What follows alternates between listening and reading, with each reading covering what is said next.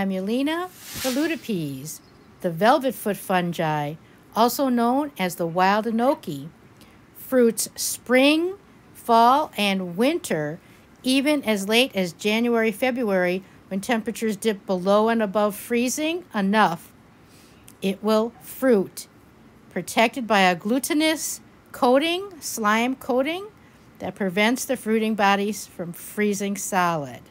Its stem or stipe is covered in fine hairs, also known as tomentose, hence the name velvet foot.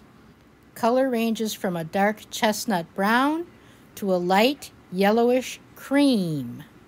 It is saprophytic, fruiting on dead wood, rotting logs, and loves the same habitat as morel mushrooms.